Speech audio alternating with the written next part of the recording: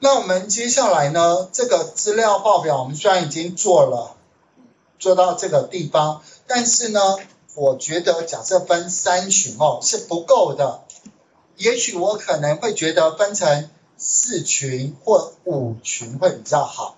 如何修改这个群数呢？当你点选这个地方是没有修改群数的，好哦，点什么都没有，反正就要点这边就对了，点这边，滑鼠右键。这边有一个编辑重集，编辑重集，然后接下来把这个三，例如说改成五，三改成五，这样可以了解哦。好，那我的课程安排是这样子的，你到时候要学会为什么三巡的时候这三个会在一起。好，那条线画在什么地方？你你要理解这个概念，不然的话，我会觉得蛮可惜的，好像没有教你到真正让你懂。我们机器学习太多种了，不要每一个都懂，但是你只要会其中一项，知道这个观念，有兴趣回去再做其他的研究。好，最后我点确定。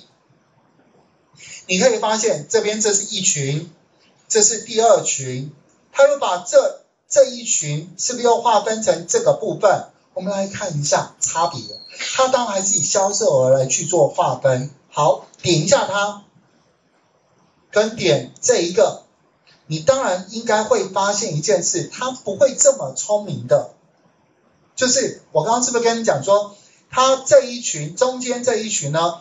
如果我会希望他是属于看是年初二零零八跟我比较往来密切的，还是二零零九跟我往来密切的，对不对？但是他不会这么聪明的去划分。可是至少至少这边是不是分成五群了？第一群在这边，第二群、第三、第四、第五，滑鼠右键，编辑重集，这边都有相对应的重集。